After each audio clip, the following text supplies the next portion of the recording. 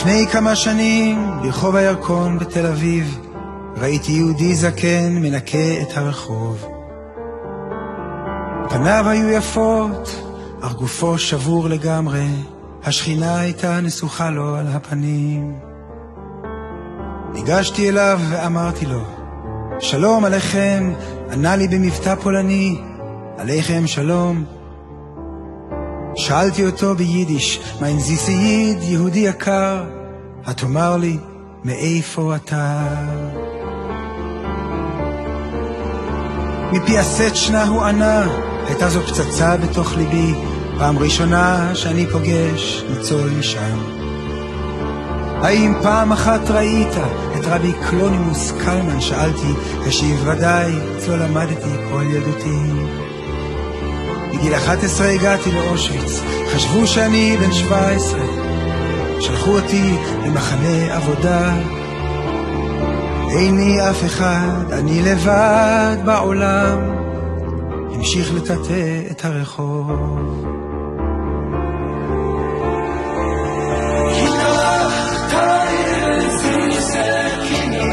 מתוך האש הכל עוד מדבר. הדבר הכי גדול, הכי גדול בעולם, הוא לעשות טובה למישהו אחר.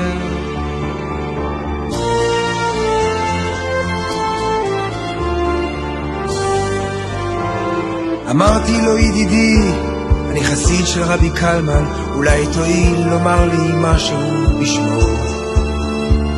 הוא הביט בי ואמר, אחרי המחנות, אתה באמת חושב שאנחנו עוד זוכרים? ואיך אוכל לתאר לך את קבלת השבת? רקדנו סביב הרבי כל הילדים. אך דבר אחד אני זוכר, שאמר לנו שוב ושוב, ולא אשכח כל החיים.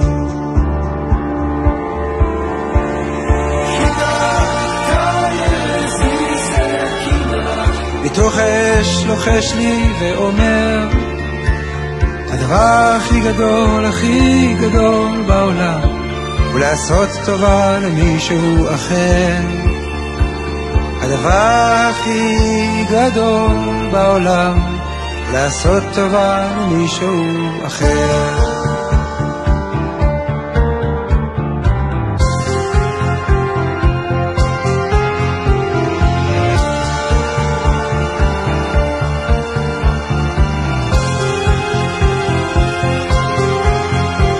במחנה כשהבנתי שכל המשפחה שלי הלכה, קמתי בלילה ורציתי לשים לחיי סוף.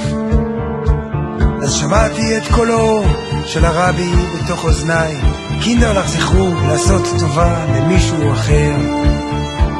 אתה יודע כמה טובות אפשר לעשות בלילה באושוויץ, סביבך על הרצפה, אנשים שבורים. כל הלילה ישבתי, הקשבתי, עודדתי וניחמתי. נשארתי בחיים.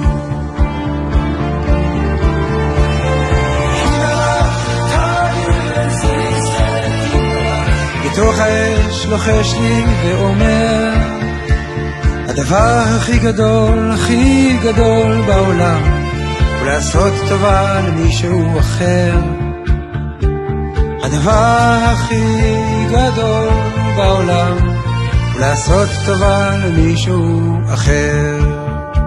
גם היום לפעמים איני מוצא טעם לחיי, נכנס לים, אך שוב קולו בתוך אוזניי. הדבר הכי גדול, אתה יודע כמה טוב אפשר לעשות ברחובות של תל אביב.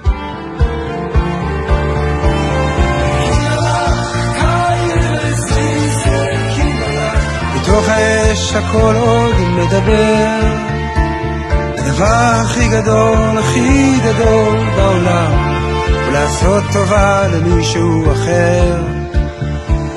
הדבר הכי גדול בעולם הוא לעשות טובה למישהו אחר